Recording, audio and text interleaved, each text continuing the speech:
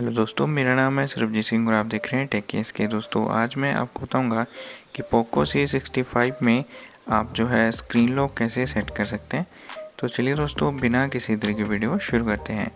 तो इसके लिए आपको सबसे पहले फ़ोन की सेटिंग्स में चले आना है। सेटिंग्स में जाने के बाद दोस्तों, आपको यहाँ पर ऑप्शन मिलेगी पासवर्ड एंड सिक्योरिटी की। यहाँ पर आपको क्लिक कर देना है। इसके बाद दोस्तों, आपको स्क्रीन लॉक सेट करने के लिए यहाँ पर स्क्रीन लॉक की ऑप्शन मिल जाएगी, यहाँ पर आपको क्लिक करना है।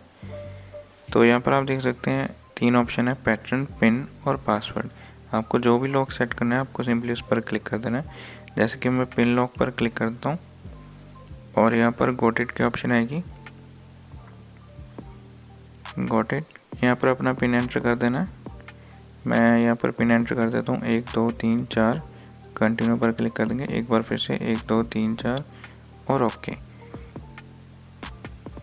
यहाँ पर आपको फिंगरप्रिंट ऐड करने की ऑप्शन मिलेगी। करनी है तो कर सकते हैं, नहीं तो कैंसिल कर देंगे। तो स्क्रीन लॉक सेट हो चुका है।